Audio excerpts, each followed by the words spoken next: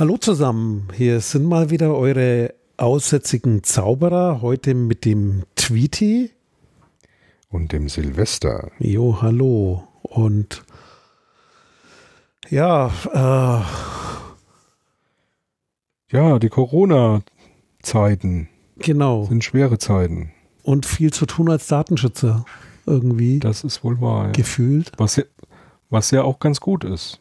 Weil, ne, wenn es nicht so wäre, dann würde man sich ja wundern oder zumindest mal zu dem Schluss kommen, dass Datenschutz dann dort vielleicht nicht so wichtig ist, aber es äh, ist in aller Munde und ähm, oft auch mit gutem Grund. Ne? Besser als nichts zu tun, auf jeden Fall. Da stimme ich dir zu, Tweety. Das ist genau, aber könnte könnt manchmal auch ein bisschen ruhiger sein oder irgendwie besser verteilt und äh, Homeoffice sind wir zwar gewohnt, aber ich glaube, die Gesamtsituation, so. dass alle jetzt Homeoffice machen und das ist irgendwie nach wie ja, vor anstrengend. Also Homeoffice in dem Sinn sind wir gewohnt, aber nicht so. Also was ich meine ist, du bist ja dann trotzdem zwischendurch immer mal unterwegs gewesen in irgendwelchen Projekten und bist mal rausgekommen, hast andere Leute gesehen, warst auch mal sowas wie im Büro. Und mittlerweile muss ich ehrlich sagen, ich bin ja schon so ein bisschen äh, wie soll ich sagen, nerdisch. Äh, ich hatte hier letztens einen Kollegen ähm, am Apparat, der dann nochmal sagte, nee, weißt du, mir geht es eigentlich ganz gut mit Corona, weil ich bin ja ganz gerne vor meinem Computermonitor und ich muss aus meinem Keller eigentlich gar nicht raus.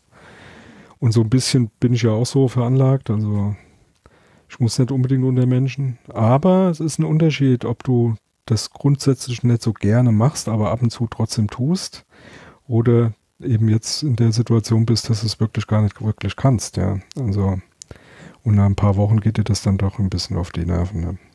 Also mir geht es zumindest so. So Käfighaltung. Genau. Ich glaube, das kann man irgendwie so bezeichnen und äh, bei mir geht es dann auch so, wenn ich so dann die Umgebung betrachte oder äh, einkaufen raus muss, das ist gruselig nach wie vor irgendwie, weil ich habe so das Gefühl, es gibt zu viele Leute, die kapieren manches nicht. Und einkaufen macht keinen Spaß. Zumindest mir nicht mehr. Außer online. ja. Das, ja. das, ja. Tja, ja. ja die, also die, diese, diese, diese am Rande Diskussion finde ich halt immer wieder bemerkenswert, mit welcher Unlogik oder Logik manche Leute manche Sachen so diskutieren.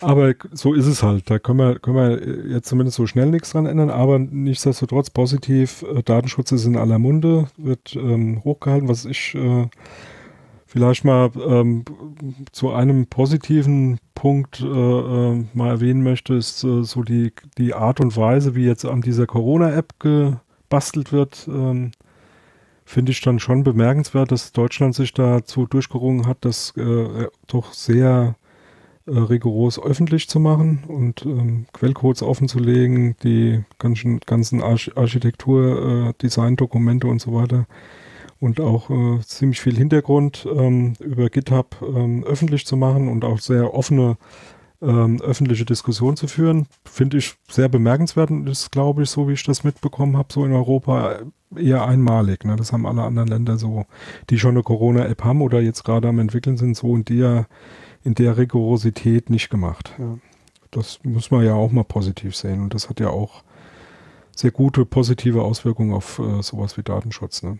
Und dezentral finde ich da sowieso gut. Also das ist, war ja am Anfang, die Diskussion war schon ja, Angst. Äh, ich, ich hatte auch gedacht, so wie die Franzosen, äh, so ein zentrales Konzept, weil du drehst halt irgendwelche Dinge nicht mehr zurück. Also Türen, die da aufgehen, die kriegt man nicht mehr zu, selbst mit dem Gesetz nicht, weil was mal da ist, äh, ist einfach da. Und von daher freut es mich auch, den Weg, der mir gegangen ist. Und da ist aber, glaube ich, sowohl im Podcast als auch in der Presse genügend nachzulesen, dass wir jetzt da nicht auch noch eine Sondersendung ja, ja, drüber machen. Äh, dann, dann vielleicht eher mit ein paar so anderen Themen und zwar, ja, was allgemein so Datenschutz und die Situation eventuell, ja, wie, wie man das zusammenkriegt, auf was man da achten kann. Da habe ich auch gesehen, da, da gibt es im Heise Verlag in der CT auch wieder nette Checklisten. Das hatten die letztes Jahr schon mal. Und die haben die quasi äh, wieder aktualisiert. Und natürlich auch auf die, ja, neue Situation angepasst. Das heißt nicht nur technologisch, sondern auch an das, was aktuell Leute bewegt, insbesondere so Dinge wie Homeoffice und so weiter angesprochen. Und ich finde die ganz praktisch, weil für jemanden, der nicht im Thema drin ist und sich auch nicht einarbeiten will und da auch kein quasi Studium draus machen will, steckt da eine Menge drin, dass man abarbeiten kann. Äh, kann man einfach so als gegeben nehmen, durchgehen ich gehe mal davon aus, ich habe jetzt noch nicht alles gesichtet, das wird wieder so sehr einfach gehalten sein, wo man was findet und knipst. Ist natürlich immer ab und zu etwas schwierig, weil man gegebenenfalls Dinge abschaltet, die, die man dann wieder doch haben möchte. Aber so im Großen und Ganzen, glaube ich, kann man da nicht so viel verkehrt machen.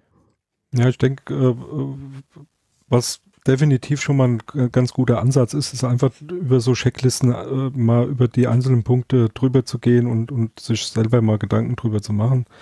Äh, Habe ich da schon mal geguckt, wie ist es bei mir eingestellt, was bedeutet das, was steckt dahinter und so. Da ist schon genug äh, Hintergrundinfo auch mit bei. Ähm, und ich finde es einfach mal gut, weil es sind auch viele Punkte dran, an die denkt man, selbst jemand, der da ständig mit zu tun hat, denkt da nicht immer an alles, ja. Und äh, von daher, so Checklisten machen schon auch mal Sinn. Aber wir können mal ganz kurz äh, äh grob gucken, äh, über was äh, haben sie denn alles so Checklisten gemacht? Also das geht mal los mit ähm, Betriebssystem, ne? Also äh, gerade jetzt, wo viel mehr mit dem Rechner auch zu Hause mal gemacht wird und so, weil man ja nicht rauskommt mal äh, sich zum Beispiel Windows vorzunehmen, einfach mal zu gucken, was kann man da wie einstellen, was macht da Sinn, was macht da äh, den Datenschutz ein bisschen besser. Und ähm, ja, das ist so mal das Erste, was ich gesehen habe. Das ist ganz, ganz gut gemacht und sehr übergreifend halt auch betrachtet. Und das nächste ist dann schon mal super interessant, weil das, glaube ich, jetzt sehr, sehr viele Leute betrifft, nämlich äh, Checkliste Homeoffice. Ja. Jo, nur mal kurz zurück zu dem Windows. Was ich schön finde, ja. ist, die haben, die haben so Tabellen drin.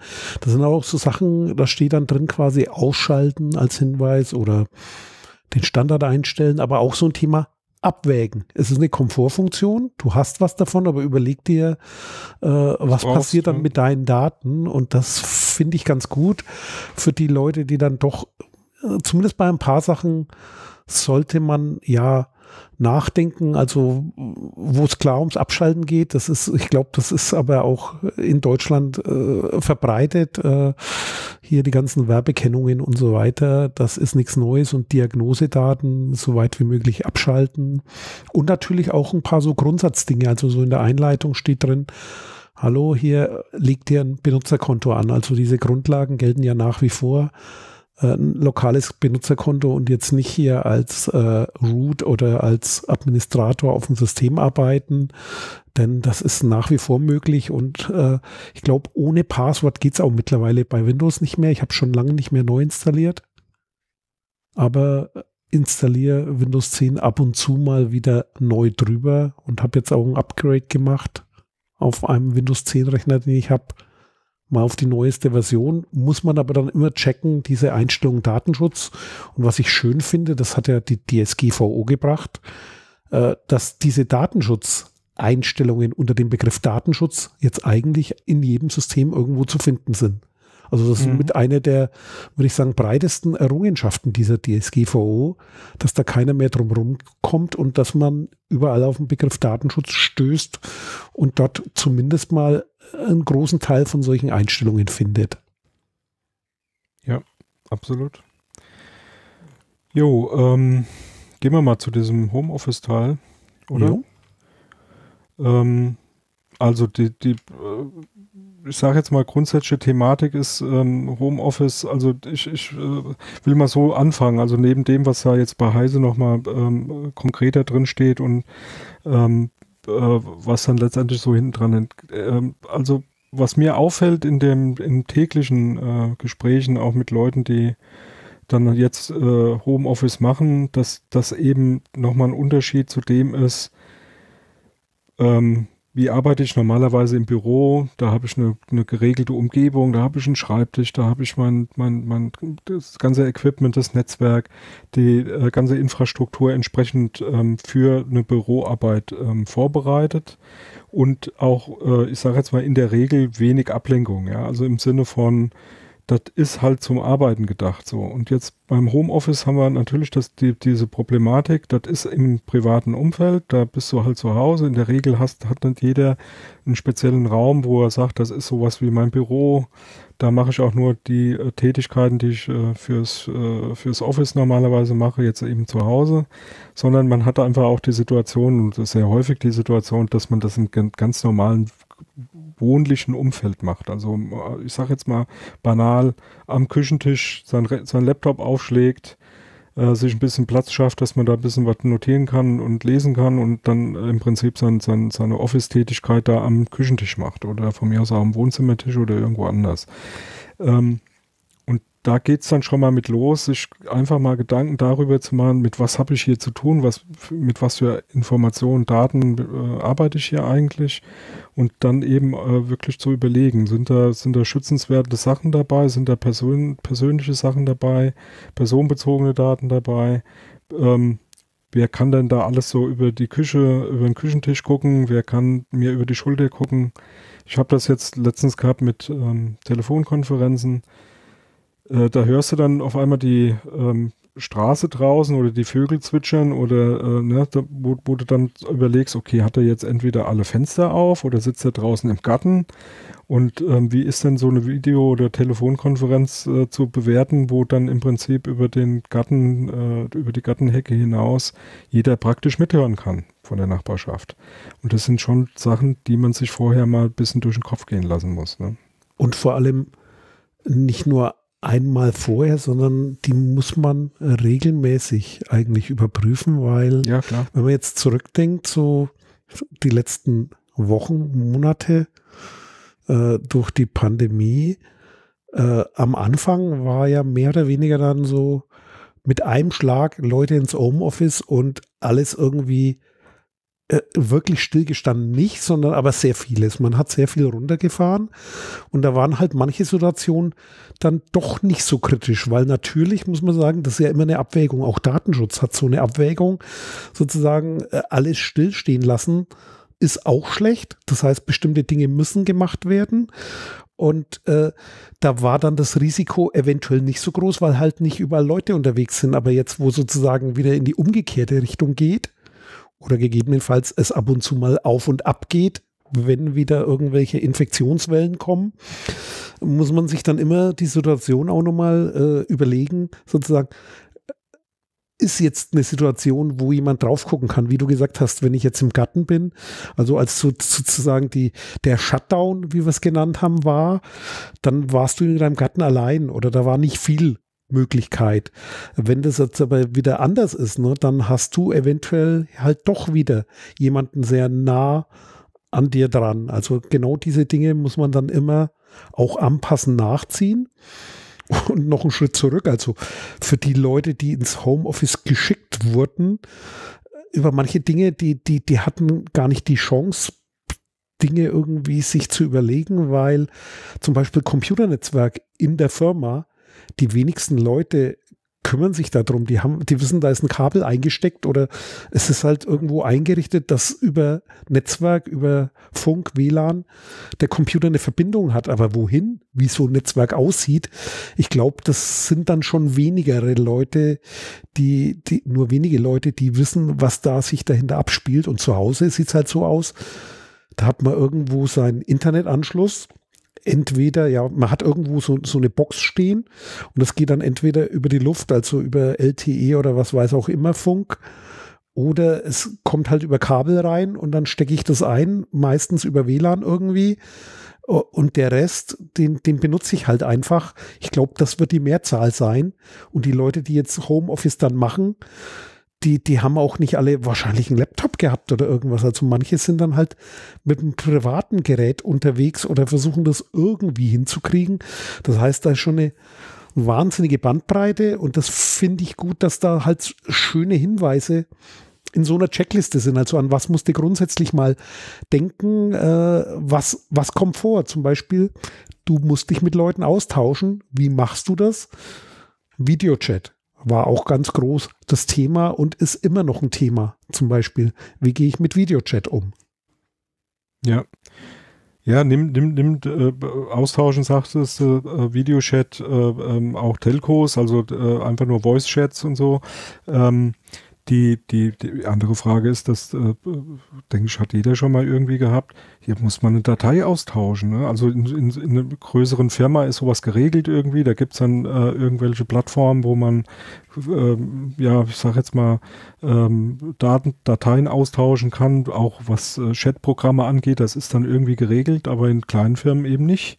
Und dann geht's dann schon mal schnell. Ach du, du hast so eine Dropbox, dann leg das doch mal da und dann gib mir einen Link frei und dann wird dann ganz wild ähm, irgendwelches Zeug äh, ausgetauscht. Ich sage jetzt mal, bei weniger kritischen Sachen mag das alles noch irgendwie ähm, äh, okay sein, aber sobald es da in, äh, ich sage jetzt mal wirklich inhaltliche Geschichten geht, wo, wo Datenschutz berührt ist in irgendeiner Form, wird es schon, wird's schon schwierig, ne?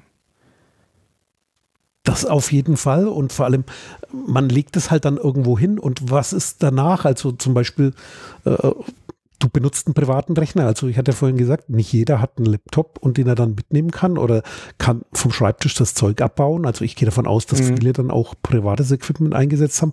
Also sich auch bewusst zu machen, da landen Dinge, wo speichere ich was hin? Wo lege ich es hin? Wie finde ich das hinterher? Und da ist so ein Praxistipp, also ich glaube, der hilft im Homeoffice grundsätzlich zu sagen, äh, auch psychologisch gesehen, man sollte doch irgendwie äh, Arbeit und Privat irgendwo ein bisschen trennen. Also ich rede jetzt nicht über die Leute, die von zu Hause aus sowas schon im Griff haben oder sowas seit Jahren praktizieren und viel gelernt haben, sondern die, die jetzt in die plötzliche Situation kommen, äh, sollte man immer im Kopf haben, irgendwie trennen. Fängt, fängt morgens an bei dem, sich vernünftig anziehen. Ich glaube, das ist auch nicht zu unterschätzen, sozusagen sagen, woran erkenne ich, dass mein Arbeitstag beginnt und wann mache ich eine Unterbrechung? Ich habe eine hohe Flexibilisierung und viele Möglichkeiten, aber ich glaube, auch da sind viele überfordert. Von daher, das zu trennen und das fängt halt dann an, wenn ich irgendwo was habe, ja, private Speichermedien und die beruflichen dann möglichst trennen, äh, so gut wie es geht und nicht in demselben alles ablegen, weil erstens mal ist ein Problem mit dem Finden, zweitens zu wissen, wo landet das Ganze dann, also sich dann irgendwo ein Speichermedium extra anzulegen oder irgendwas, wenn man dazu in der Lage ist, wo man sagt, okay, wenn ich da beruflich jetzt was mache, dann habe ich schon einen besonderen Ort, dann kann man den auch irgendwie besonders schützen. Das ist so ein ja. Beispiel mit, Oder wie gehe ich mit Daten um und wie tausche ich die aus? Also nicht, nicht, also nicht alles privat benutzen. Ja, typisches Problem im Datenschutz ist ja immer, äh, ähm, es ist schön, wenn wir Datenschutz einhalten, während wir mit solchen Daten arbeiten, mit personenbezogenen Daten arbeiten.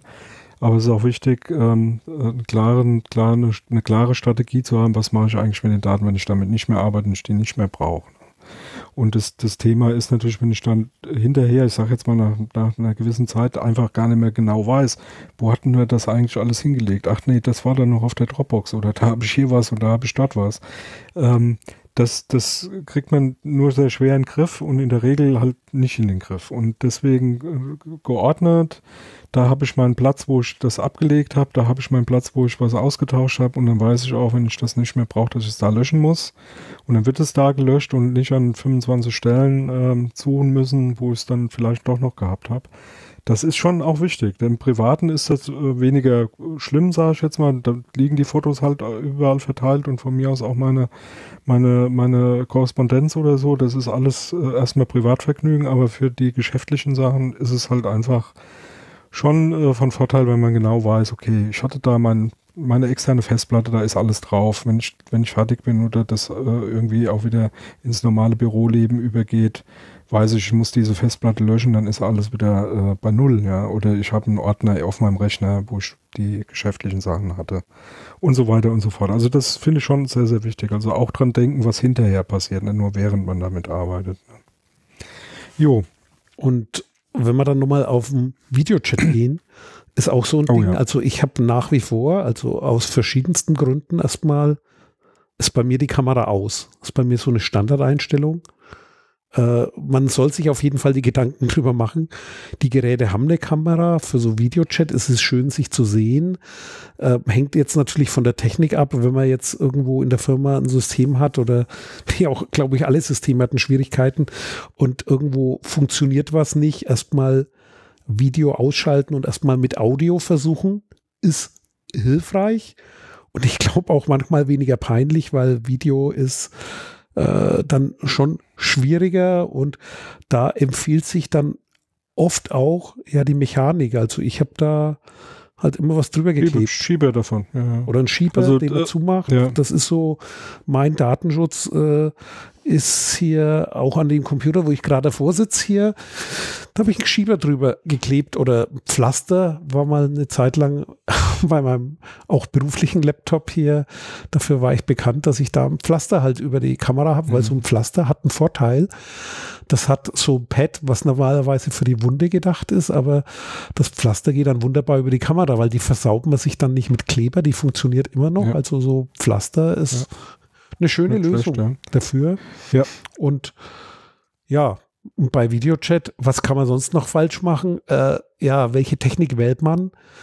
Ich gehe davon aus, dass die meisten das dann doch nicht selber ausgewählt haben, aber manche Sachen ja werden irgendwie spontan gemacht und da muss man halt auch wieder drin. Ich glaube, da kommt man wieder auf das Thema zurück hier beruflich privat, weil Videochat kann man auch sinnvoll privat nutzen und halt überlegen, für was tue ich das dann.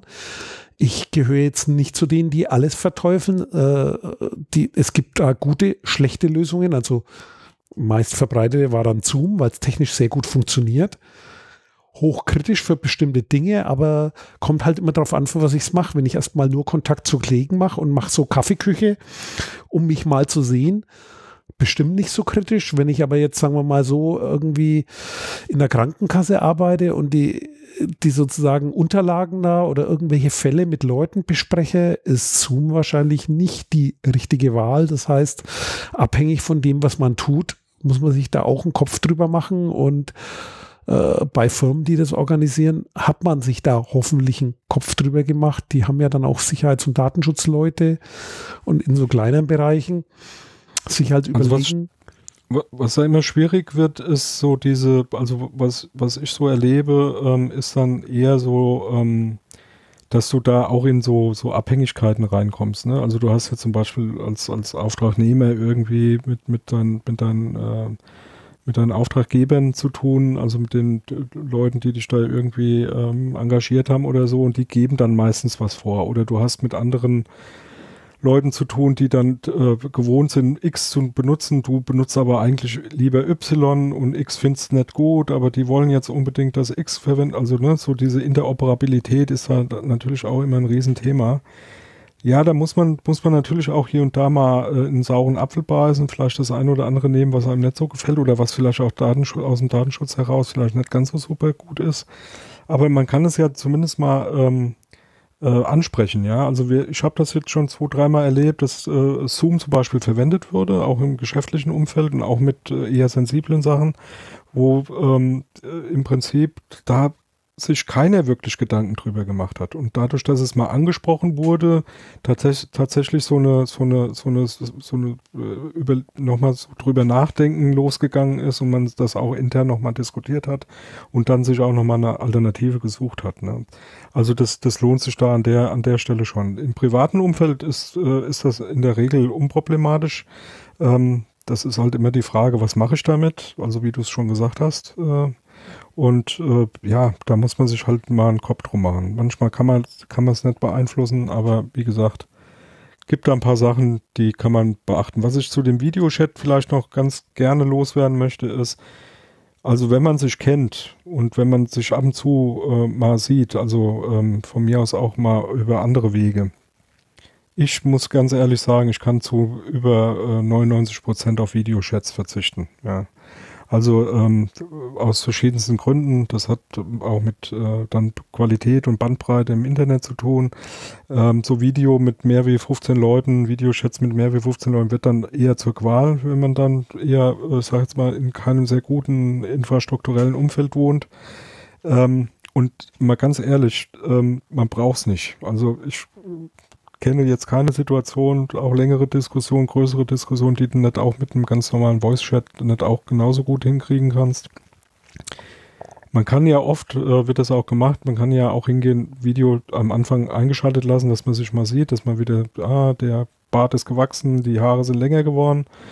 Ähm, und dann hat man sich mal gesehen, man begrüßt sich und dann schaltet man den Kram wieder ab und macht nur noch mit Voice weiter, dann ist das auch okay, weil ähm, Video macht auch äh, neben den technischen äh, Geschichten natürlich das Problem, dass man in der Regel mehr Informationen raus, rausgibt, wie eben nur über Telefonat oder Voice-Chatten, äh, ähm, weil man eben Hintergründe sieht, weil man sieht, dass da jemand durch äh, die Wohnung läuft, weil man äh, Dinge ja, mitbekommen kann, die man ähm, selbst gar nicht so sieht. Ja. Also ich hatte das jetzt letztens mal dass dann einer feststellte, dass ich eine Fledermaus oben an der Decke hängen habe. Die, ja, die hängt da. Das ist so eine, so eine kleine Stofffledermaus. Die habe ich ja schon ewig kennen. Das, da habe ich gar nicht mehr dran gedacht.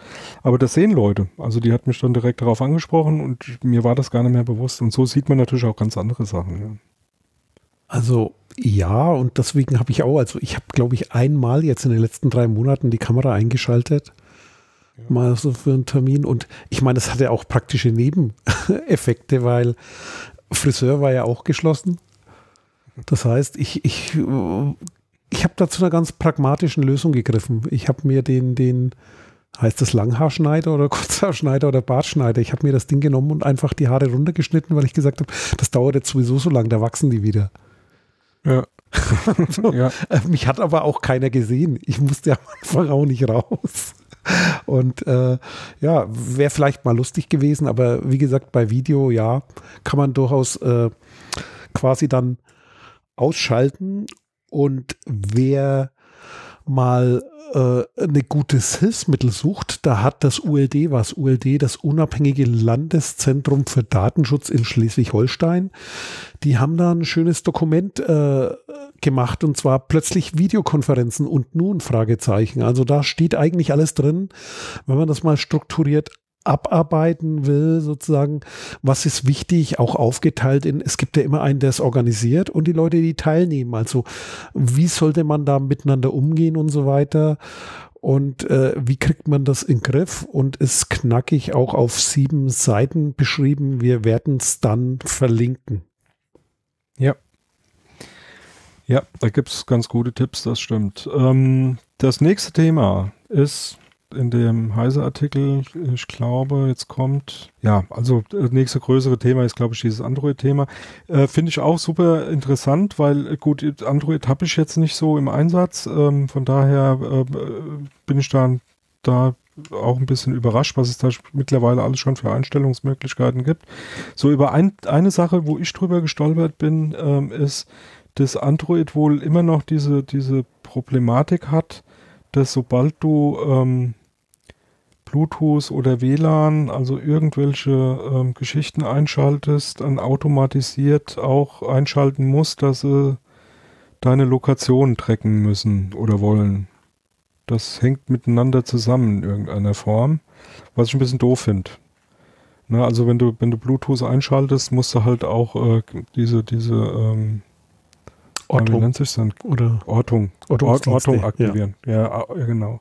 Und damit ist natürlich auch äh, GPS äh, am Start. Ne? Und ähm, eigentlich hat das ja, also zumindest ist es so bei, bei Apple, nichts miteinander zu tun.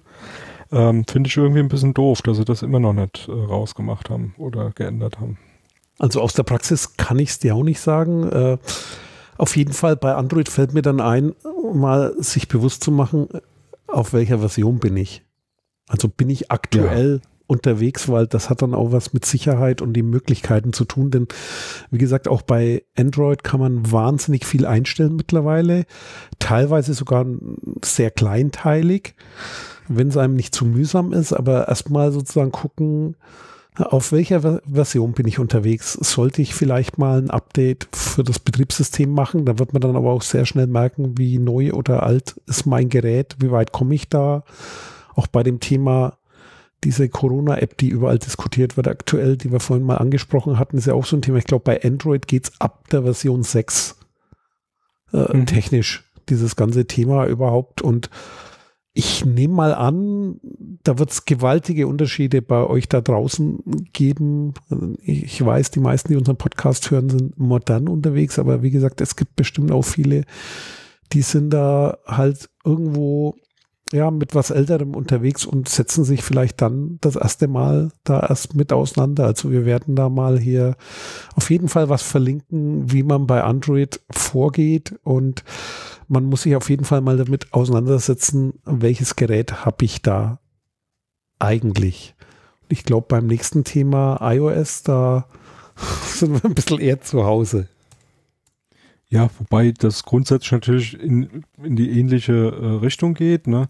Also ähm, auch da äh, kann man ja eine gewisse Zeit zumindest mit älterem äh, ähm, Zeug so unterwegs sein, aber iOS ist halt so ein bisschen in, in die Richtung angelegt, da einen auch so zu drängen, abzudaten und so. Äh, ja, aber grundsätzlich macht es da natürlich auch mal Sinn, äh, über alle Einstellungen mal drüber äh, zu gehen. Eine Sache, die ähm, hier auch erwähnt wird, die ist auch bei Android mit bei, nämlich diese ganze Geschichte Backups. Ne? Also ähm, alles, was irgendwie in die Cloud geht, alles, was lokal gehalten wird, ähm, das, da macht es wirklich Sinn, ähm, mal zu gucken, wie ist denn das bei der einen oder anderen Anwendung tatsächlich. Äh, Gerade mit dem Thema, das wir eben auch hatten, ähm, gilt ja auch für Windows und auch für, für macOS ähm, wenn man äh, eventuell sein eigenes Equipment ähm, verwendet, auch für die ähm, geschäftlichen Sachen, für die Arbeit, ähm, äh, diese Backup-Geschichten, die in die Cloud mehr oder weniger automatisiert schon ähm, am Laufen sind, gerade bei, äh, bei Mac kenne ich es, ähm, schaltet mal einmal ein, ähm, dann hat man Mühe überhaupt noch zu erkennen, wo man gerade zu Hause ist. Also ist das lokal gespeichert oder läuft das jetzt gerade irgendwie nur in der Cloud? Da muss man sich auch echt Gedanken drüber machen. Ne? Also gerade wenn man ähm, eben nicht mehr nur privat unterwegs ist, sondern eben auch im Homeoffice unterwegs ist, ähm, weil das eben nicht mehr ganz so offensichtlich ist. Also man weiß manchmal gar nicht mehr so ganz genau, ist das jetzt Cloud, äh, ist das tatsächlich lokal und wie hängt das Ganze zusammen. Also es wird hier gerade auch bei diesem iOS-Thema und bei dem Android-Thema auch nochmal ähm, aufgeführt hier von Heise. Ja. Hast du bei deinem iPhone das Cloud-Backup an?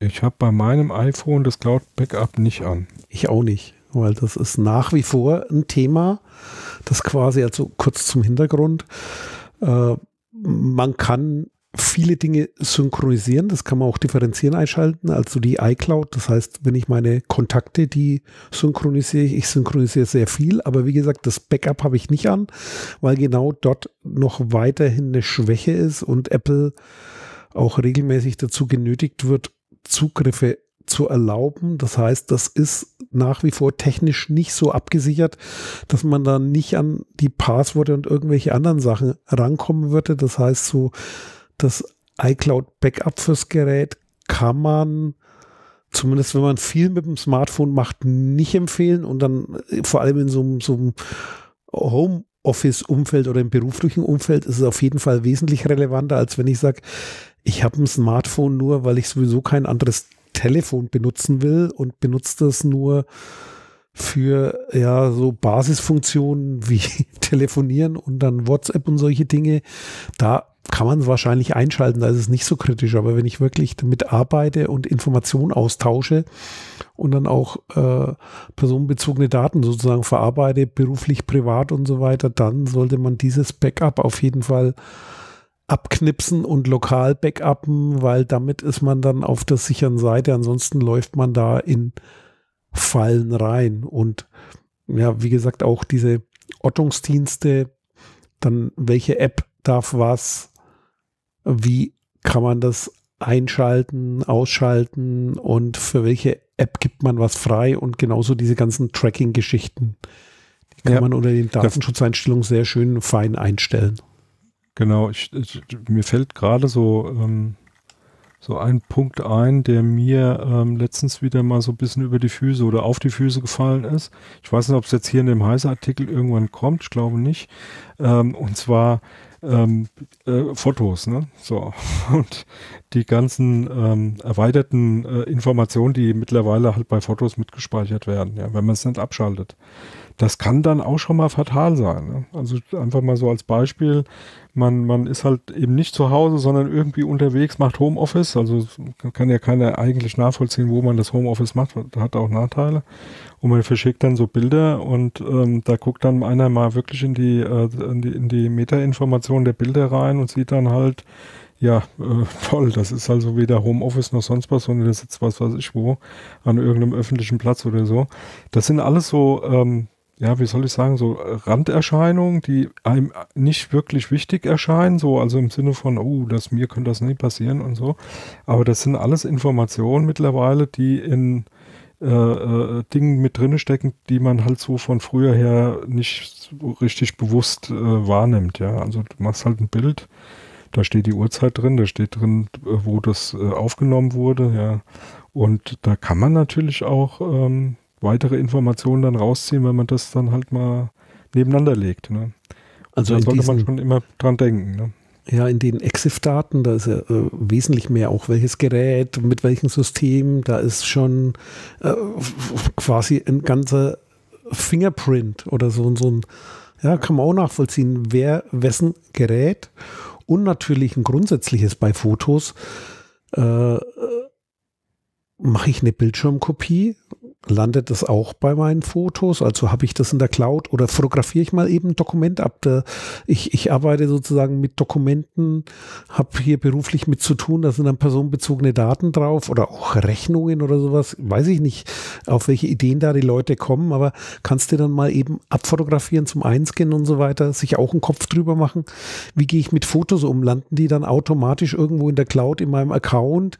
Äh, hängen da noch andere Geräte drauf? Das heißt, tauchen diese Daten Daten dann vielleicht auf in der Familie geteilten anderen Computern plötzlich auf. Das sind alles Sachen, da sollte man sich zumindest mal Gedanken drüber machen. Und wenn man es dann feststellt, also man kann das bei so einer Situation, wenn man da plötzlich im Homeoffice ist, nicht alles auf einmal machen, aber so strukturiert nacheinander sich an die Dinge rantasten und dann dafür sorgen halt, dass die da wieder gelöscht werden oder dass man sich dessen bewusst ist und das dann eben auch ändert und danach sich bewusster verhält und nicht, äh, ja, gedankenlos alles benutzt. Das ist, glaube ich, so, so ein wichtiger Punkt. Das ist äh, vor, vor, allem deswegen ganz interessant, so diese ganzen Themen jetzt ähm, mit Homeoffice und so. Ne? Das, das ändert halt nicht nur, wie wir arbeiten, ähm, sondern eben auch, wie wir gewohnt sind, ähm, bestimmte Dinge schon geregelt zu haben. Ja? Also wenn, wenn das Beispiel, was du eben gesagt hast, fand ich ganz gut. Ne? Du bist ja am, am Bildschirm irgendwie, du machst da gerade irgendwie eine Konferenz äh, mit, mit ein paar Leuten und ähm, jemand legt dann irgendwie was auf und du denkst, ach, bevor ich das jetzt abschreibe und, und mir da ein paar Notizen mache, machst du doch schnell mal ein, ein, ein, Bildschirmfoto. Ach, jetzt Bildschirmfoto, wie ging das nochmal auf dem Laptop? Weiß ich nicht mehr. Ach nee, hat ja die Firma abgeschaltet, jetzt nehme ich mal schnell mein Handy und mache da ein Bild halt einfach vom Bildschirm. Ja, so. Ähm, und dann ist das, ein, ist das ein Foto und das geht in mein Album und das Album ist aber geschert mit was weiß ich, meine, mein, meinem Lebensgefährten oder wem auch immer, ja. Und äh, rucki zucki sind da Geschäftsgeheimnisse, personenbezogene Daten, sonst wo. Ja. Tauch, taucht auf irgendwelchen Fernsehern auf, ne? Ja, zum Beispiel. ist, oder wie, wie, auch immer. So, und das, und das, äh, wir sind bisher eigentlich immer, und das ist, glaube ich, schon, schon auch so eine grundsätzliche, ähm, das muss man sich bewusst machen, diese Gefahr, die da ist ähm, wir sind es gewohnt, dass das eigentlich vorgegeben ist. In unserem Büroumfeld, da ist das geregelt. Da haben wir unser, unseren Rechner da stehen, da haben wir ein Netzwerk, da sind Firewalls, da sind Leute, die sich drum kümmern. Da ist geregelt, was ich darf, was ich nicht darf. Das weicht halt total auf. Und die, wir sind da viel mehr gefordert wie früher. Also wir können da nicht mehr sagen, ja, ja, das hat der, da hat sich der Chef mal Gedanken drüber gemacht, der Admin wird schon wissen, wie er meinen Rechner einstellt. Nee, das ist mein, das ist mein privater Rechner, das ist mein privates Telefon, das ich jetzt hier im Prinzip für die Arbeit mitbenutze. Und da muss ich dann teilweise selber mir Gedanken drüber machen. Oder zumindest mal darauf aufmerksam machen, dass es da vielleicht ein Problem geben könnte. Ne? Also das äh, denke ich mal so grundsätzlich, was sich da jetzt ändern wird, ja, bei vielen Leuten. Weil die Diskussion geht ja schon in die Richtung, macht ja auch Sinn. Jetzt haben wir alle mal wegen Corona Homeoffice ausprobiert. Das finden viele gar nicht so schlecht. Das würde auch bei uns funktionieren, bei uns funktionieren. Und auf einmal wollen das viel, viel mehr Leute machen. Das wird ja diskutiert, jetzt das Recht auf Homeoffice äh, durchzusetzen. Ne? Ja, und vor allem dann Regeln zu schaffen und wie gesagt, immer dieses im Hinterkopf zu trennen, dann sozusagen, was ist privat, was ist beruflich und wo ziehe ich da die Grenze. Und das ist auf jeden Fall wert, drüber nachzudenken und das ist auch so ein Thema, äh, auch für sich selber hilft es, da nachzudenken. Also das ist, wenn wir jetzt wieder aufs Arbeiten da einschwenken, wenn man sich das nicht klar macht, verliert man auch jegliches Zeitgefühl und irgendwie, äh, wie viel arbeite ich und diese ganzen Sachen hängen damit zusammen. Also ich glaube, das wird auch jetzt überall empfohlen, wenn man so guckt, was so, wird sich ja an vielen Stellen mit auseinandergesetzt. In den Medien wird viel diskutiert. Also so eine Trennung, äh, was ist Arbeit, was ist sozusagen Privatleben. Ich glaube, die macht schon Sinn, die an irgendeiner Stelle zu, zu ziehen, weil ansonsten tut man sich selber keinen Gefallen und äh, quasi kommt da auch selber dann ja irgendwie in Schwierigkeiten. Äh, Homeoffice muss man auch erst lernen und ist ein Prozess und sozusagen das äh, selbstständige Arbeiten ist dann ganz anders und das nicht direkt austauschen, das zeitverzögerte, das hat alles Vorteile für beide Seiten, aber halt auch ähm, immer im Kopf behalten sozusagen, äh, wie gehe ich dann mit um? Du hattest das vorhin mit dem Küchentisch und so, also was mache ich dann? Auch wie, wie passe ich auf Technik, auf Equipment auf, weil mhm. ich will ja dann auch noch was essen. Was ist, wenn ich dann meinen Kaffee da reinkippe? Das heißt, also all die Dinge, wer haftet dafür? Da gibt es ganz viele Dinge, die noch zu beachten sind, wenn man sagt, man will das auf Dauer einrichten und vor allem dann auch der Gesundheitsschutz. Also auf der Couch sitzen, mag zwar bequem sein, wird man aber dann schon irgendwann merken, dass das Gesundheit weh, Einrichtung bringt, genauso wie der Küchentisch, ne? Ja, klar. Ähm, was haben wir als nächstes? Also wir haben äh, Chat iOS. Ne? Weiter. Ne? Chat, genau, Chat. Ja, das, klar. Äh, also Chatten ist ja heutzutage, ähm, ich bin jetzt nicht unbedingt jemand, der das viel macht, aber auch ab und zu. Aber das ist ja äh, gang und gäbe und logischerweise äh, auch da gut mal drüber zu gucken, was sind da für Möglichkeiten, was einzustellen, auf was muss man achten, macht definitiv Sinn. Ähm, genau. Ja, und vor allem welche Chat-Software, ne? Das ist also auch wieder, also da ist wieder das Thema drin, fremdbesteuert und so weiter. Also da ist WhatsApp ganz vorne dran, wobei ich sagen muss, die meisten, die Diskussion wird ja schon vor Jahren geführt, die haben zumindest eine Sicherheitsebene, dass man sagt, hier mit Verschlüsselung und so weiter, da dürfte nicht mehr viel ohne Verschlüsselung unterwegs sein, aber auch wieder beim Trennung beruflich-privat, so Gruppen, bilden und einrichten und vor allem hingucken, wenn man das mit dem Smartphone macht.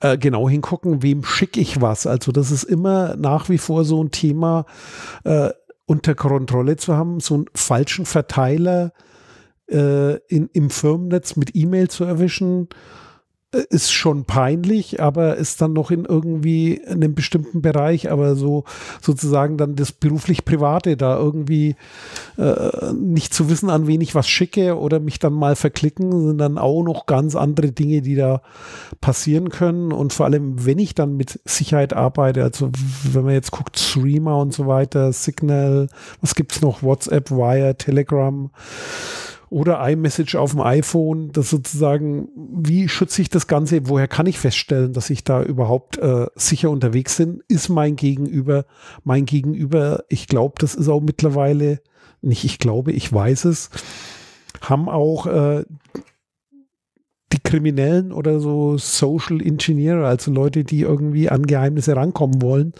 gerade Hochkonjunktur und dieser Trick, äh, der, der dieser Manager-Trick mit den E-Mails, wo hier irgendwie, du musst mal schnell eine Bestellung und so weiter auslösen, ist natürlich in der Homeoffice-Situation noch wesentlich brisanter, weil da sozusagen dann auch noch im Umfeld einiges fehlt und da klickt man mal schnell wohin. Und dafür gibt es quasi so eine Checkliste Chat, auf was achtet man dann und wo findet man was, in welchem Chat, welche Einstellungen sind gut und wichtig. Genau, nächstes Thema. Browser. Browser. Schönes Thema. Schönes Thema deswegen, weil es gibt ja so viele Browser, wie es äh, verschiedene Rechner gibt. ja, oder es gibt nur Chrome. oder nicht Chromium. Oder es gibt, das ja, ist jetzt eine nee, Sache, leider. wie betrachtest du das? ja, ja, naja, wir haben ja, wir haben ja, ähm, gibt ja jetzt mittlerweile ähm, einige große Hersteller, die mal eigenständig waren, die jetzt auch darauf sp springen, sogar in ihre Rechtschreibprüfung habe ich mir, ähm, habe ich gelesen irgendwo. Also unter Windows ähm, wird jetzt auch nur noch die Chromium. Haben sie sich irgendwie drauf. Ja, ja, ich habe meinen genau, umgestellt die, jetzt und habe jetzt auch den Edge jetzt gerade am Umstellen. Der wird dieses Monat umgestellt. Also ja, Microsoft aber, geht weg von der Eigenentwicklung hin auf die auf Chromium im Hintergrund. Das ist das, was bei Google Chrome auch läuft. Also faktisch genau. gibt es da nicht viel, was da eben sozusagen. Da gibt es noch Mozilla. Mozilla, das war's dann. Und Chromium. Ein paar ne? kleine. Weil ja, ja, und noch ein paar, Apple paar kleine. Ist ja, auch halt, auf der, ist ja auch schon fast Chromium, oder? Das ist weiß ich nicht, das kann ich ja ganz sind doch verwandt. Das ist doch dieses, äh, mir fällt es jetzt nicht ein, aber äh, viel Technologieunterschiede gibt es da nicht mehr. Ja, ja, wie hieß denn das? Äh, Web, Web, Web irgendwie. Ähm. Ja, genau, mir fällt es gerade nicht ein, irgendwas mit Web, ja. Aber. Ja, mir fällt es auch gerade nicht ein. Aber ähm, Alzheimer. Ist ja, genau.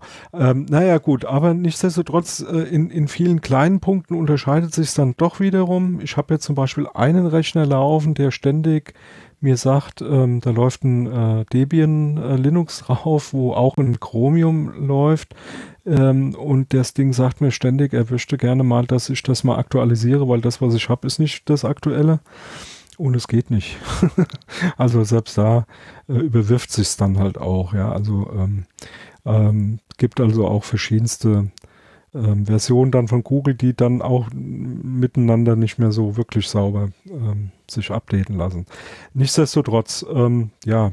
Äh, ja, da musste auf jeden Fall Browser, achten, dieses ganze Plugin-Wahnsinn, also was, ja, was für genau. privat vielleicht schön ist, dass ich da irgendwo mal was angeguckt habe, was mir irgendeiner geschickt hat, beruflich sehr, sehr viel vorsichtig. Am besten, man hat keine Add-ons oder kaum Add-ons. Also ich habe auch naja. mittlerweile so ziemlich alles verbannt, außer beim Firefox. Da benutze ich halt ein paar so Plugins dann als Werbeblocker. Also ja, habe ich anders gelöst. Aber die, also was machst du? Ja, Pi-Hole? Ja, genau. Ja, das will ich umstellen jetzt bei mir zu Hause mal. Können wir mal kurz erklären? Erklären wir kurz, was Pi-Hole ist. Also Pi-hole ist im Prinzip sowas wie ein Proxy, ähm, äh, ein Browser-Proxy, der den hängst du im Prinzip an deinen Router. Das ist eine kleine äh, Raspberry Pi, äh, kann, muss kein super schneller sein. Ähm, geht ein Dreier oder ein, äh, rein theoretisch auch mit einem Zweier schon, aber äh, Dreier würde ich empfehlen, wenn nicht sogar den Vierer. Ähm, dann einfach ans Netzwerk hängen, äh, hat ja Gigabit äh, Ethernet, ähm, dann wird alles, was äh, du brauchst, im Prinzip über ein zweites Netz, ähm, gehst du dann, ähm, wird letztendlich durch den, durch den Raspberry ge geschleust, durch das Linux und da läuft dann halt äh, so eine spezielle Software, Pi-hole, die ähm, ja im Endeffekt filtert, ne? Den ganzen Schmotter, den du halt nicht haben willst, das kannst du dann sehr sauber und sehr fein einstellen. Was, was willst du raus haben? Welche Werbung fliegt raus? Welche nicht? Ähm, welche Sachen willst du gar nicht mehr sehen und so. Das kannst du sehr schön, ähm, sehr feingliedrig und auch äh, ohne jetzt äh, Informatiker sein zu müssen einstellen und dann hast du im Prinzip eine saubere Internetlandschaft bei dir zu Hause. Also das Funktioniert ganz, Tat ganz nett ein, ein, eine sehr gute Lösung. Und wie gesagt, ich will schon lange umstellen. Ich muss mir jetzt mal die. Ja, gibt's, also Zeit kann man mal im Netz, wir können ja mal gucken, einfach mal den, den Link vielleicht mitliefern. Den liefern ähm, wir auf jeden Fall mit. Ja, also da, da gibt es schöne Anleitungen, das gibt es als fertiges Image, braucht man nur draufspielen. Wie gesagt, einstellen lässt sich das Ding ganz gut. Und wenn man sich da ein bisschen Mühe gibt, äh, sagen wir mal, hat man das relativ schnell am Laufen und das funktioniert. Und das Schöne ist halt, das ist vollkommen, dann eben auch vollkommen unabhängig von was für einen Browser ich dann benutze und was für einen Rechner ich dann zum Surfen oder auch äh, iPad oder, oder, oder Android Pad oder so, was ich da benutze, ist eigentlich dann wurscht. Ne? Und es hilft auch beim E-Mail, also wenn da diese ganzen Tracking-Sachen in E-Mails, äh, Newsletter und so drin sind, da hilft es natürlich auch, weil es halt im Netz hängt. Aber zurück genau. zum Browser, also was, was sehr hilfreich ist, das wird hier auch in dem Artikel dann nochmal angepriesen, ist sozusagen im Browser gibt es in allen Browsern einen privaten Modus oder so einen Inkognito-Modus. Das heißt, man kann ein Fenster aufmachen, äh, in dem dann nicht im Standard alles mitläuft, weil da gibt es nämlich Logdateien. Also der ganze Browser, der zeichnet ja den Verlauf auf, was da drin ist. Da können auch wieder andere Leute drauf kommen. Wie gesagt, wer kann sonst noch das Gerät benutzen? Und deswegen ist das ein sehr guter Tipp, wenn man dann irgendwie auch in so eine Online-Konferenz geht oder so, dann so ein privates Fenster aufmachen, weil dann entstehen da gar noch nicht mal so viele Spuren und dann ist das auch da ein Stück weit besser geschützt. Genau. Und ja. Gut. Jo. Nächste Thema, Facebook. Ja, das ist mehr wie eine Seite. Kann man nachvollziehen. Da kann ich nicht viel mitreden. nee, ich, auch, ich, ich auch nicht. Aber ähm, da gibt es, da gibt es wohl ein ähm, paar Möglichkeiten, da auch tatsächlich, ähm, ähm, ja, ich sage jetzt mal in Facebook selbst da diese, diese Privatsphäre-Geschichte da sauber einzustellen. Da hat wohl Facebook auch gelernt, da ein bisschen mehr zu machen. Ähm, ja, durchgehen. Jeder, der Facebook nutzt, sollte sich diese Checkliste mal angucken und sollte da einfach mal schauen, was ihm äh, da weiterhelfen kann. Das nächste Thema. Google. Checkliste Google. Google ist natürlich ein schönes Thema. Google kann ich also mehr mitreden, ja. Benutze ich auch ja, im Gegensatz auch. zu Facebook. Ja, genau.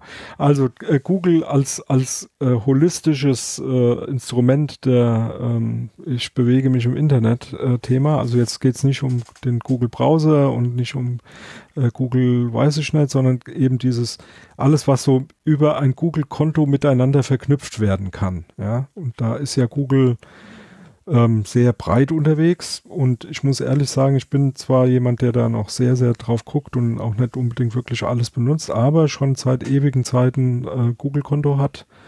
Und ähm, das ein oder andere Feature, das sich daraus ergibt, dass alles über Google, ich sag jetzt mal, verknüpft und verbunden und auch äh, miteinander äh, zu tun hat, äh, hier und da zu schätzen gelernt hat. Ja, also ich muss ehrlich sagen, das ein oder andere finde ich gar nicht mal so schlecht von der Bequemlichkeit her, aber, und da ist diese Checkliste hier wirklich ganz gut, man muss sich das ähm, einfach mal durchgehen und auch nochmal in sich gehen, brauche ich das wirklich so, was ist der Nutzen, was steht dagegen, ja, was, was äh, ähm, gebe ich preis dadurch, dass ich da vielleicht die ein oder andere Bequemlichkeit habe. Ähm, und von daher äh, absolut gute, gute Sache da, dieses, äh, die Checkliste jetzt hier für Google, ja, absolut. Genau, und vor allem dann überlegen, mit welchem Konto bin ich dann unterwegs, habe ich ein berufliches und ein privates und so weiter. Knüpft auch nochmal an Android an, was wir vorhin hatten, denn äh, die meisten werden wahrscheinlich ihr Android mit Google verknüpft haben und dann hat man am Smartphone sozusagen nochmal eine andere Dimension und das sollte man alles systematisch sozusagen checken. Wie gesagt, bis hin dann Suchmaschine. Also das ist so, wenn du ein Google-Konto hast und dann äh, DuckDuckGo oder Startpage oder irgendwas anderes als Suchmaschine nimmst, bringt dann auch nicht so viel, als wenn man es aus Datenschutzsicht sieht. Also da muss man quasi mehrere Aspekte dann angucken und vor allem das Thema Werbung, Analytics, äh, wie ist es eingestellt und vor allem bei E-Mail, wenn man das Google-Konto hat, äh, seine ganzen beruflichen E-Mails da durchzuschleusen, ja, ist jetzt nicht unbedingt Ziel, sollte man nicht machen und wie sichert man das Ganze ab und äh, auch dort das Tracking und die Automatismen bis hin, da hängt ja dann auch immer, ja, wie gesagt, du hast es vorhin angesprochen, YouTube, da hängen noch mehr Sachen zusammen, was halt sozusagen zum Google-Imperium gehört, wie auch bei Facebook vorhin. Das hätten wir vielleicht noch erwähnen müssen.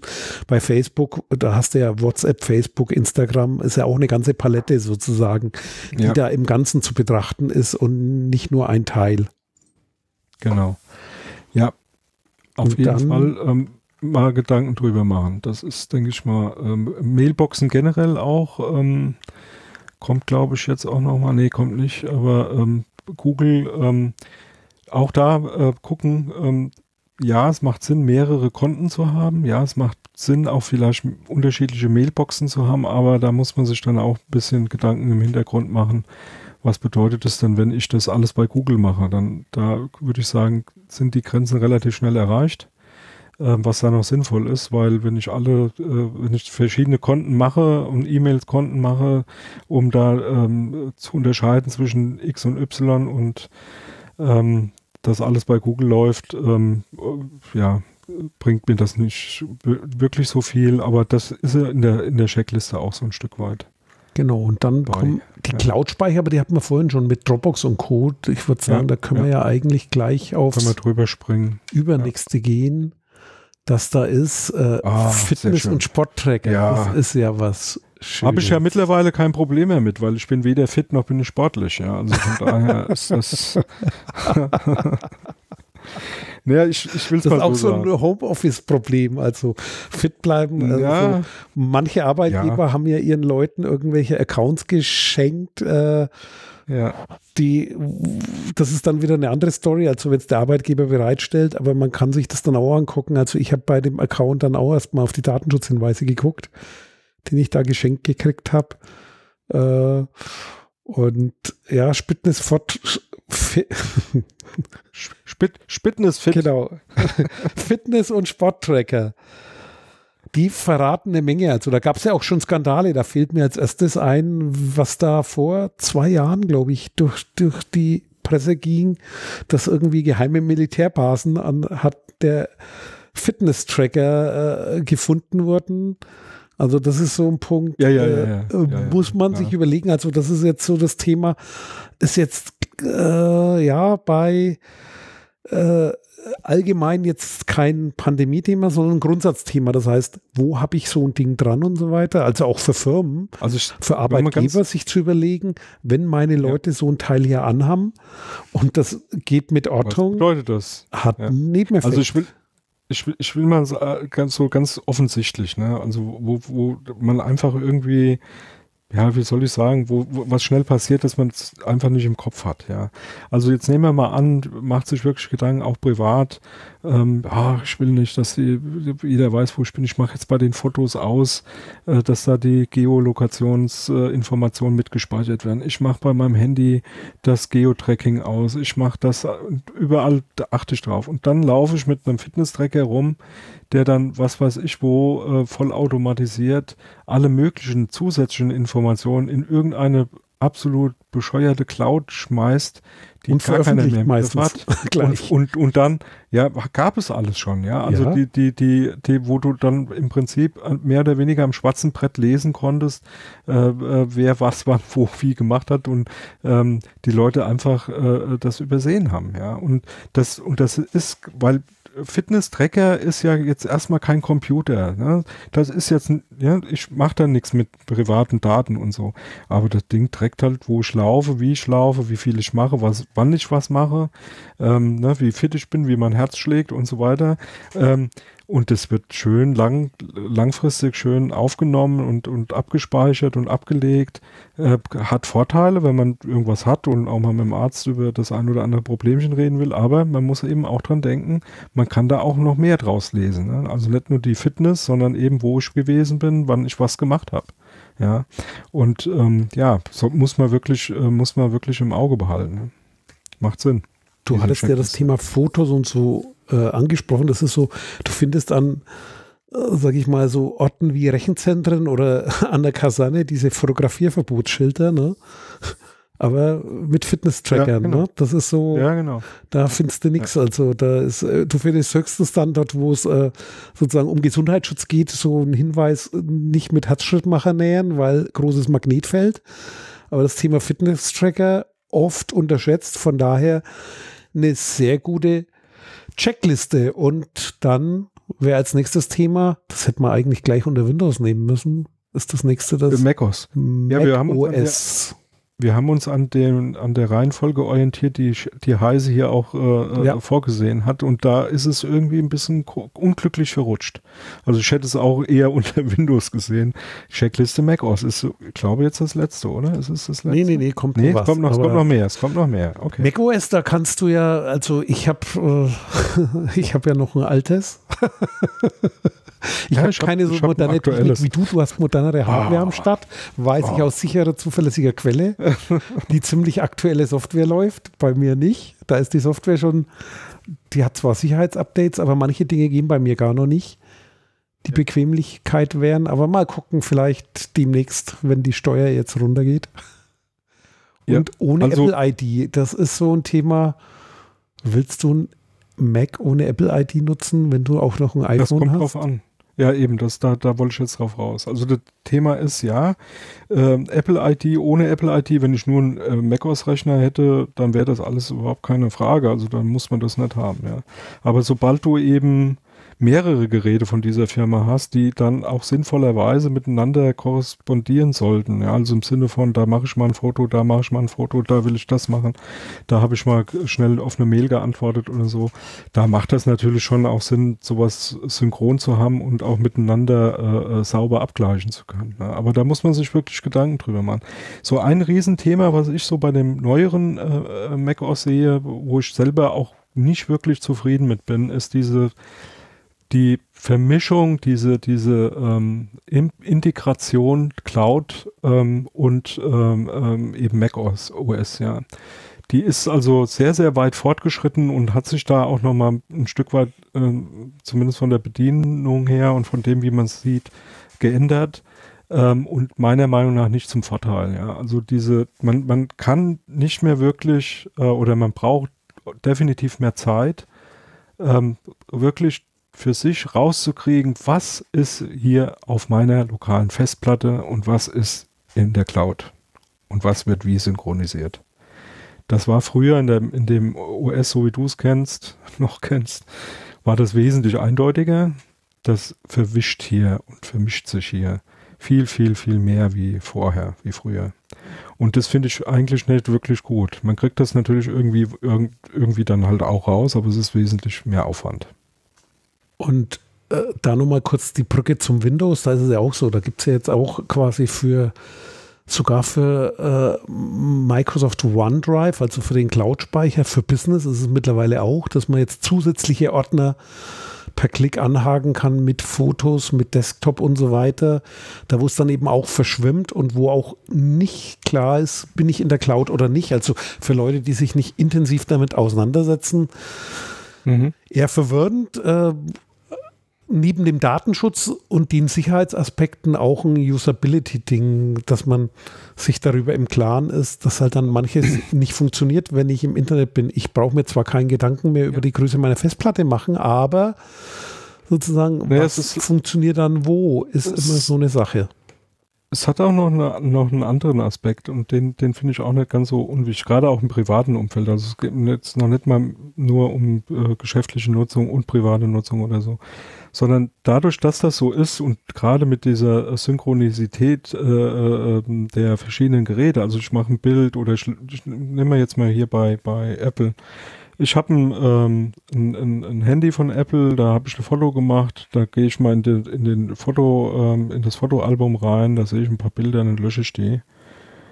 Und bin eigentlich davon überzeugt, dass das Original noch bei mir auf dem Rechner ist. Und das Original ist nicht mehr auf meinem Rechner, sondern du löscht die überall. gelöscht worden. Ja, genau. Und das ist nicht mehr ganz so eindeutig wie früher. Also das konntest du früher viel sauberer zuordnen. Das geht meiner Meinung nach, jetzt ist zumindest mein persönlicher Eindruck, nicht mehr ganz so schön.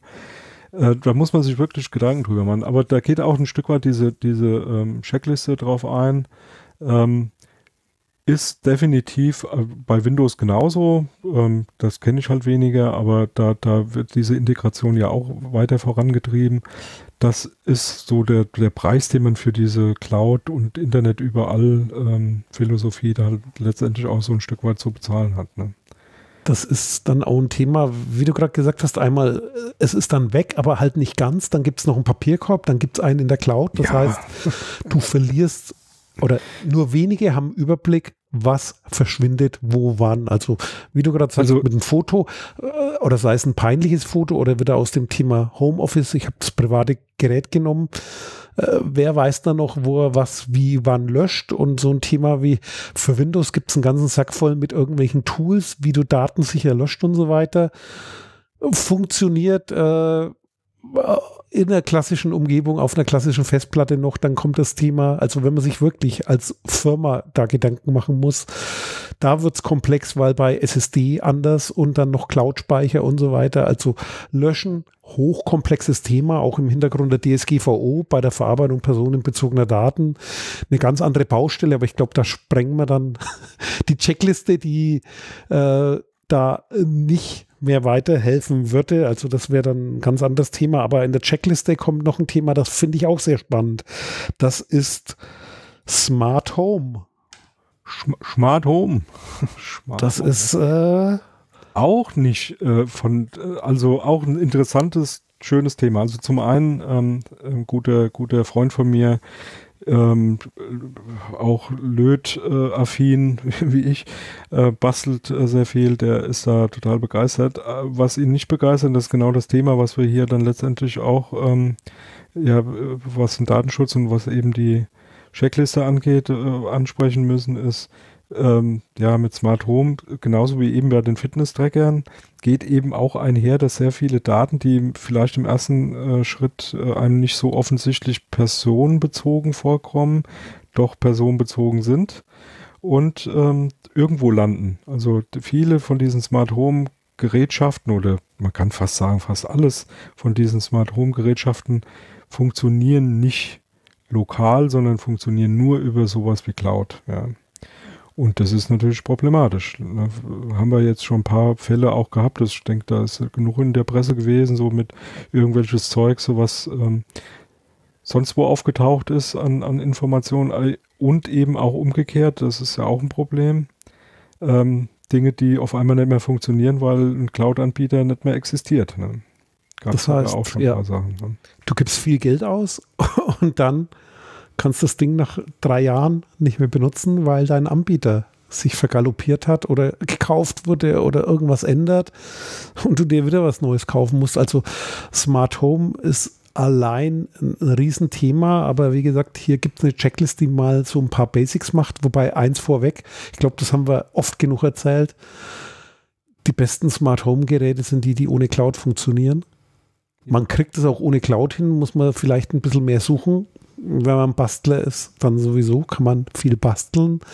Aber das ist so wichtig und äh, vor allem, man will auch nicht überall Mikrofone haben und man will dann irgendwie schon die Hoheit haben, wobei Smart Home ist halt so in, in so vielen drin. Ist, such du mal einen Lautsprecher, den du irgendwo übers ja. Netz ansprichst, der nicht automatisch dann irgendwie tausend andere Sachen hast. Wir hatten vorhin das Google-Konto, also und dann gibt es noch das äh, Alexa ist Amazon, glaube ich. Ne? Ich, ich habe Siri ich hab ist Apple, Hey Google ist das andere. Jetzt springen Wie, alle an. Hab, ja, ja, ich habe ich hab ein schönes äh, Ding jetzt. Ähm, ich habe ihn jetzt leider gar nicht an, aber äh, wir haben uns ja schon mal drüber unterhalten, diesen kleinen, ähm, diesen kleinen Roboter da. Wie hieß er denn? Den Enki. Ich habe den Enki, genau, den Enki, Enki, ähm, na, wo ist er denn? Ich suche jetzt gerade irgendwie. Hast du das jetzt durchgezogen, ich wo da dieses Open Source Projekt ja, war, wo die, also wie die gesagt, sind auch dran. Zum, zum Resümieren, Enki, kleiner Spielzeugroboter, ja. zum Programmieren, schönes Ding, aber halt auch Firma pleite gegangen. Dann hast du hier ja, teuren ja, Schrott stehen, aber da gab es jetzt eine Open Source genau. Initiative oder Crowdfunding, ja. um das Ding leben zu lassen. Hat, hatten wir ja auch schon mal drüber berichtet. Also das, und zwar Enki ist die Firma gewesen und der kleine Roboter, den ich jetzt meine, der heißt Vector. Genau, und Enki das Vector. ist der, der ist ein bisschen, ähm, bisschen besser wie diese e, etwas günstigere Variante, die es am Anfang gab. Das war ja eher so ein bisschen als Spielzeug gedacht. Das Ding hier ist, im Prinzip sieht er genauso aus. Er kann halt ein bisschen mehr und, der, und das ist halt von einem äh, kleinen Firma in Kanada gekauft worden, die Rechte und die Quellcodes und alles da dran. Und da habe ich dann auch ein bisschen Geld investiert und habe die ein bisschen unterstützt. Und die sind auch dran. Und das Schöne ist jetzt bei, in, in Zeiten, also Plan 1, alles, was jetzt in der Cloud läuft, soll auch lokal laufen. Also die sind gerade dabei, praktisch die ganzen Cloud-Services so umzuschreiben, dass du dir einen kleinen Raspberry Pi oder so in die Ecke stellen kannst und der dann nur noch mit dem kommuniziert und du eben nicht mehr unbedingt die Cloud benutzen musst. Ähm, das war der, der, Hauptgrund, warum ich da mitmachen wollte. Und das Zweite ist natürlich, dass sie sehr viel ähm, Neues rein interpretieren wollen, Neues rein programmieren wollen und auch ein paar Sachen freigeben wollen. Und ähm, was sie jetzt in Zeiten der Corona-Krise gemacht haben, jeden Freitag kommt eine neue Funktion dazu. Und unter anderem kann er mittlerweile schon dir ähm, rechnen kann er, dann kann er dir das Wetter vorhersagen, du kannst also Fragen stellen und er antwortet dir direkt.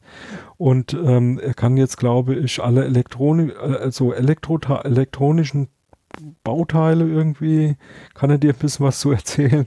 Und ähm, letzte Woche oder vor zwei Wochen ist dazu gekommen, er kann dir jetzt auch ähm, äh, Drinks äh, nennen. Cocktails mixen. Äh, Cocktails mixen. Also kann er sagen, was du wie mischen musst, damit das der der Also er mischt sie nicht. Also du stellst drei Flaschen nein, hin nein, ein Glas, das nein, macht er noch nicht. Genau. Ist Nee, das- klein. Ich würde, das wird er auch nicht hinkriegen. Also, aber ja, aber, aber ich finde es halt, Okay. das ist echt ein spannendes Thema, weil das äh, so, so eine relativ kleine Firma ist und die sind da wirklich dran. Also das äh, scheint nach vorne zu gehen. Ja, man muss halt Muss man ab und zu gucken, mal wieder. Was, was durch die Pandemie jetzt an Automatisierung passiert. Ich meine, da wird es jetzt schon einen Schub geben. Also Dinge, die normalerweise noch fünf bis zehn Jahre oder länger gedauert hätten, werden sich jetzt ändern. Es wird sich nicht alles ändern, aber vieles. Man merkt es auch, es hat sich schon einiges geändert, aber das, das größte Problem bei Smart Home ist nach wie vor so ein Thema mit, äh, es ist eine saublöde Idee, übers Internet zu gehen, um was zu schalten, schon allein von der zeitlichen Verzögerung. einen auszumachen. Da wird Ja. Also, auch 5G nichts ändern. und ja. Es sind halt so Sachen, auch Bequemlichkeitssachen und du vergisst halt. Ich habe zum Beispiel auch so, ich, ich wollte jetzt sagen, ich lebe in einer Smart Home Ruine, nicht ganz, aber ich habe ein paar so ruinöse Dinge. Also ich habe so alte Schalter, die, die hier uraltes Protokoll sagt einem, äh, sagt dir FS20 was noch? Der Standard? Das war so FS20, also zumindest Funkstandard, ne? So ist ja, Ja, auch schon ja, Automation. Habe ich hier in dem Zimmer hier, ne? Da funktioniert nur noch die Hälfte, weil nach irgendeinem Batteriewechsel, den du verpeilt hast, musste das zurücksetzen und dann musste alle auf die Adressen neu anladen. Hölle. Ja, Äh, voll. Da ist natürlich Cloud von Vorteil, aber wenigstens hatte das keine Cloud. Okay, FS20 hat ein Problem, ist Scheunentor offen. Das heißt, wenn einer so eine Fernbedienung hat, kann er dich auch ärgern.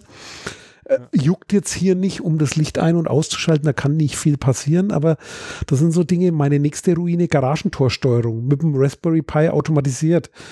Im Moment haben wir da irgendwie ein Problem, dass da am Netzwerk irgendwas spinnt. Das heißt, äh, gut, dass es noch Schlüssel gibt, weil Ja, äh, ja. ist halt scheiße, wenn es dann nicht funktioniert über deine App, die du dir gestrickt hast. Und vor allem, wenn es drei Jahre gelaufen ist und dann ausfällt, erinnere dich dann doch noch, ja. nochmal dran, Ja. was du da gebaut Ja. hast. Also das ist so eine Sache, äh, das ist sozusagen eins der Hinderungsgründe. Das gilt es noch zu lösen, sowas zu vereinfachen. Oder ich habe, Ikea hat günstige Sachen, habe ich auch äh, so ein Licht da gibt es eine Bridge, dann gehst du wieder rüber ins nächste System. Ich habe dann quasi mit meinem äh, Apple HomeKit äh, Zeugs da vernetzt.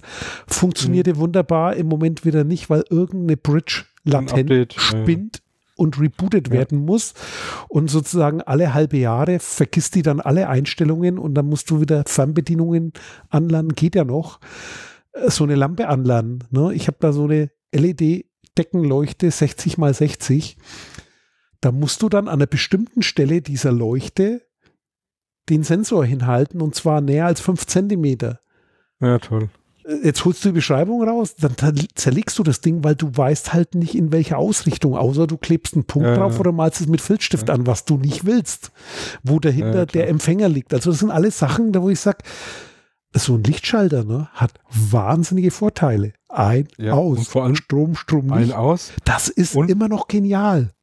und für 2,50 Euro zu kriegen, verstehst du? Ja. Also ich denke dann Und immer funktioniert so. diese- Auch nach ja, 100 gab Jahren ja- wahrscheinlich noch. Gab, gab ja diese, diese, diese schöne Meldung, die, das, was war denn das für ein Smart Home Ding? Ich glaube, war das nicht sogar Telekom, wie hieß denn das Ding? Äh, Kiwicon oder so, ne? Ach, dieses Dieses Kiwicon. Kiwicon-Ding. Da haben sie die Lichtschalter, da war dann die Cloud irgendwann mal nachts weg, ja. Also die, die, der Server war dann erreichbar und da gingen alle Lichter aus, ja. So, und du konntest aber auch nicht mehr einschalten, ne? War so in der ersten Version, gab es da Ja. mal irgendwie so einen Vorfall. Ne? Dann haben sie das softwaremäßig ein bisschen anders da gemacht. Dann, ja, aber da war dann die lokale Funktion aus. Ja, von, von Ja, das- ist, ist halt ein bisschen doof. Ne? So, äh, so einen Fehler macht man dann hoffentlich auch nur einmal, ja, aber auch dieses eine Mal ist eigentlich schon zu viel, ne? für einen Lichtschalter zumindest. Wo dann jeder Lichtschalter dann auch, äh, wenn, wenn du dir so Smart Home Lichtschalter anguckst, ich sag jetzt mal unter 10 Euro brauchst du da eigentlich nicht drüber nachzudenken, ja.